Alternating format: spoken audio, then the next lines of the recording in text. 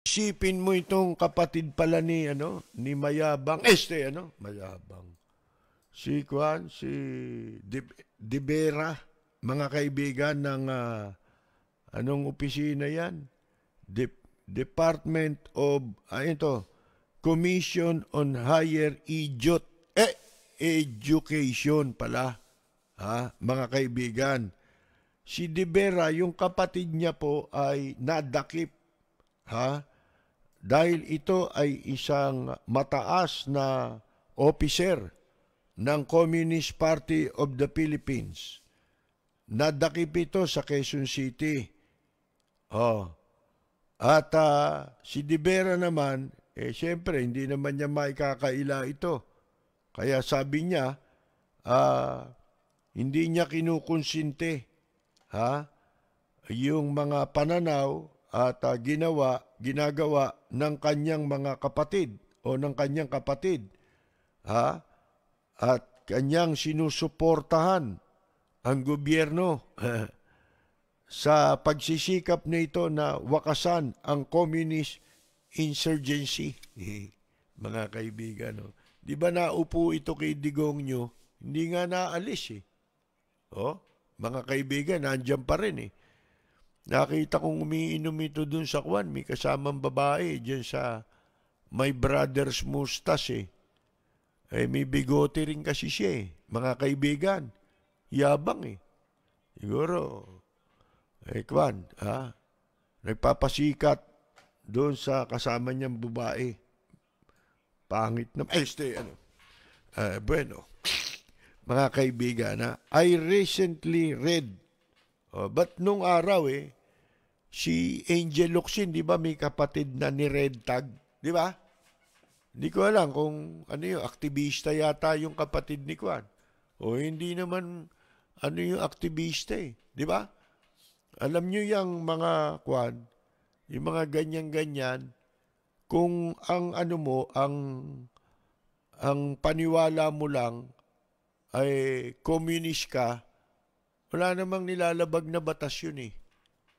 Eh kaya ito hinuli dahil ito ay may warrant of arrest sa kasong uh, mga pagpatay, mga kaibigan. Oh, eh siguro ano ito? MPA. Ha? Si Adora Faye de Vera. Oh, merong itong uh, kuan, uh, warrant of arrest eh, pa, pero ba't ito hindi nare-red tag si De Vera? Ha? Dumidistansya siya dun sa kapatid niya. Oh, pwede mo bang distansyahan yung kapatid mo pa rin yan? Di ba? Oh, ngayon, eh, ang sama lang, kung sa iba nangyari ito, eh pati yung ano, lalo na controversial, di ba? O pagka yung hindi kanila ka, kapanalig, eh kahit na ang may kasalanan, kapatid mo, kung itinuturing na may kasalanan yan, eh pati ikaw, idadamay ka eh. O ba't dito, hindi nyo magawa yan? Bakit? Dahil nakapwesto? O ilang kayang military officers? Ilang kayang uh, police officials or officers, mga kaibigan, ang may mga anak na ganyan? O kapatid, ganyan. Hindi lang natin alam, di ba? Oh, lalo sa military nung araw ha, nung nung uh, uh, kadideklara ng bago ideklara ang martial law at nung ideklara martial law. Kasi yung ideklara martial law, first year high school ako. Ha? Mga kaibigan. At nung sa lugar namin sa Baklaran, Siyempre, bata pa tayo nun, totoy pa, kagagraduate mo lang ng grade 6 nun eh, first year high school ka, naka-short pants ka pa eh. Ha? Eh, siyempre, kwentuhan, kwentuhan ng mga kaklase mo nung grade 6 kasi kahihiwalay-hiwalay nyo lang eh. Oh, panay ang kwentuhan ninyo sa gabi. Di ba? Pagkagaling ng eskwela. Eh, may dumadaang mga militar eh may hinahanap silang tao. Napagtanungan pa kami, maliliit kaming bata. Eh, sabi, saan ba nakatirahan niya? Yung ganito. Hindi ko kilala yung hinahanap nila. Itong mga kausap ko. Sabi, ah, doon no. Ah, ganun ba? O sige. Salamat, sabi ng mga military. Eh later on, napagalaman ko, yung palang hinahanap nila, mga aktivista. O, mga kabataang makabayan. Ah, na, alam niyo ba kung ano yon? Yung mga aktivista na yon, mga teenager, anak ng military, opisyal ah, opisyal ng military, mga kaibigan. O eh, ngayon di malayo yan, di ba? Ah, may mga anak sila. Ganyan din eh. Oh. Tag mo ba yun kung anak ng military? Eh bakit pagka sumusuporta sa ibang politiko eh, tag ka? Oh, mga kaibigan, di ba? Eh pero ngayon eh, hindi naman natin nakikitang ginagawa nila yan. Ha? Mga kaibigan. Hindi, in, in fairness, ngayon, hindi ginagawa ngayon yan. Mabuti naman. At kaya may mga indikasyon na medyo indikasyon pa lang naman. Kaya kailangan ay uh, kuha natin, uh, antayin natin. Wala naman tayong magagawa. Makipagkaisa muna tayo. Di ba? Oh. Kung may maitutulong kayo, tumulong naman tayo. Di ba? Kung maganda ang adhikain. Eh pero kung ang pagtulong mo eh mamasamain pa katulad nung ginagawa ni Duterte, di ba? Ayaw nila nung may tumutulong. Oh, ayaw nila. 'Di ba pinahuhuli yung mga namimigay ng pagkain? Ano tawag mo ron? Ha? Yung babae, yung binigyan ng award ng US Embassy, 'di ba? Oh, yung pantry. Community pantry, hindi panty ha. Pantry. O di ba minasama yun? Nire-red tag. Sipin mo, basta tumulong ka, masama ka. Kaya nawawala ng ano eh ng uh, uh, pagkakuan yung pakikipagkapwa, uh, 'di ba? Ang tao dahil sa ganyang ginawa nila. Sabi ko nga sa inyo, sa lahat ng administrasyon, yun lang administrasyon na yun ni Digong nyo ang wala akong nabalitaan na nag-active ng mga civic organization kadalasan niyan, pagbago administration, uh, yan na, naglalabasan ng mga civic organization, yung mga luma at yung mga bago nagtatayuan para suportahan ng gobyerno. Kami nga nun eh. O, oh, eh, loyalist kami. Pero, ang tatay ko, gumawa ng mga civic organization ha, para tumulong sa kampanya ng gobyerno. Kasi iba yun eh, iba yung gobyerno, gobyerno pa rin yan eh. Kahit na sino iupo mo dyan, yung nakaupo, aalis yun. Nandun pa rin yung gobyerno. Oh, dahil sa gusto mong tumulong sa pamahalaan, lalo sa pagsugpo ng krimen. Ngayon ba may nakikita ka na, nung panahon ba ni Digong nyo, may nakita kang mga civic organization na tumulong sa pulis? Wala.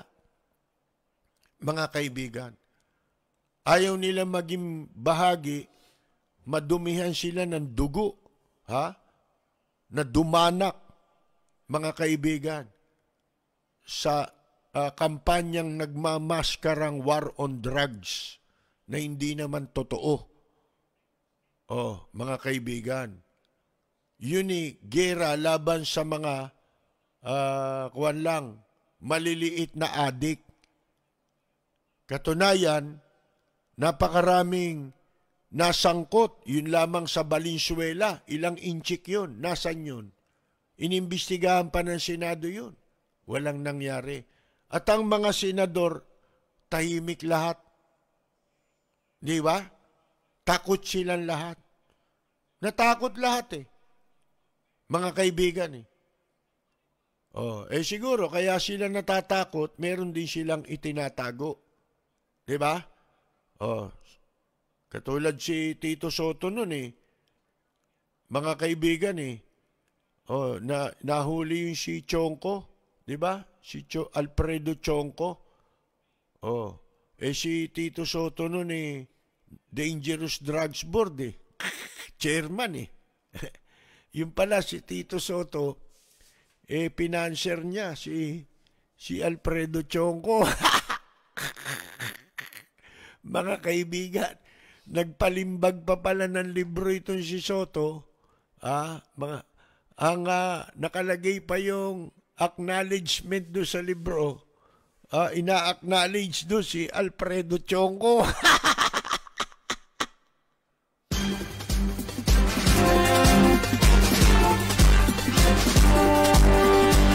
bueno, mga kaibigan, eh...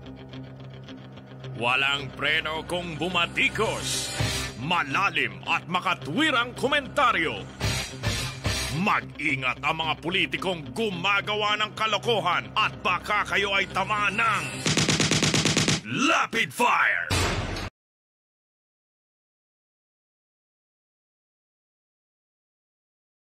Hindi sinasabing ko mo uh, kikilalanin mo yung nakaupo, ha? Eh, hindi ka na kikibo. Ba, hindi pwede yon. Kailangan kumikibo ang tao kailangan punahin mo yung mali sapagkat ang layunin natin ay ma- makakabuti sa bansa at sa mamamayan. Di ba? Yun ang layunin nun eh, nung pagpuna mo eh, sa mali. Eh mali ba na kung wala namang pagkakamali, pupunahin mo, mga kaibigan. Di ba? Oh. Yung mali, doon tayo sa issue pumunta. Magugulat ka eh. Si Leonor Briones eh. Hindi pa nagtatagal ng pag uh, natatapos yung administrasyon, di ba? Buwan lang eh. Ilang buwan pa lang eh. Naka-wheelchair. Sus Mario Josep. Mga kaibigan. Oh. Naka-wheelchair na. Maraming maka, mauupo sa wheelchair dito kung uh, ang gobyernong ito lamang yan dapat ninyong isyong uh, uh, ho, ukilkilin sa pamahalaan ngayon. Aba eh, basta ganyan na lang ba yan? Wala bang mapananagot dyan sa parmali? Ha? Sa mga katarantaduhang nangyari sa Department of Health? Ha? Diyan sa Malampaya, wala bang mananagot dyan? Kusi? O, si Dokwe, mga kaibigan? Asan itong mga yan silaw? Ha? O yan si Briones, mga kaibigan? Ano yan? Basta ganyan na lang? O, edi eh pwede nyo rin gawin yan. Di ba? Kung walang mananagot, tuloy-tuloy yan. Dapat panagutin sila. Hindi mo ba? O, dapat yan ang igiit ninyo. O, halimbawa, merong extradition treaty Oh, nag-request ng extradition tri, uh, extradition pala. Oh, para kay, kay Buloy. Ha?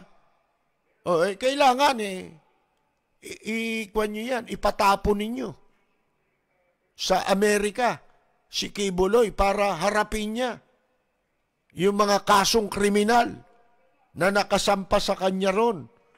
Mga kaibigan, human trafficking. Ha? Oh. Gagawin ba yon ng gobyerno? Ba, paano itong bansang ito kung wala lahat yan? Kung baliwala, ibabaon na lang sa limot, e paano yung taong bayan? Isipin mo lahat ng katiwalian, mga, mga irregularities na naganap sa nakaraang administrasyon.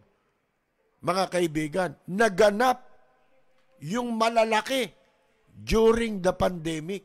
Di ba yung Manila Bay? Yung Dolomite Beach? Kasagsaga ng ano yan? Ng pandemic? Ginagawa? Talagang makikita mo, sinamantala eh. Yan ang mga ehemplo. Oh. Tapos itong laptop eh. Anong sabi? Ekwan yung kontrata, yung memorandum of agreement, ha? ni hindi nabure yung uh, ginamit nila sa sa kwan, sa pagbili ng PPE, yun din yung yung propormang ginamit, hindi na nila binura. Hindi na napalitan. Eh, laptop ang bibilin at ibang agency ito ng gobyerno. Hindi naman ito ah, Department of Health. Oh, sipin ninyong garapal na garapal, mga kaibigan. Oh, hindi ho ba? Pero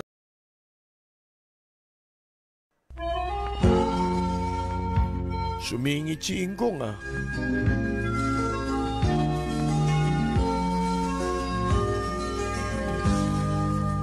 Bayan ko ay isa ang lahi. Dito'y wala ang pagkukunwari. Hindi hindi padagay Sabyang kilala sa daigdig. May pagkakaisa sa bawat nais. Ang pag-ibig ay tunay Ito po si Percy Lapid. sa Maraming salamat at magandang gabi! De Vera!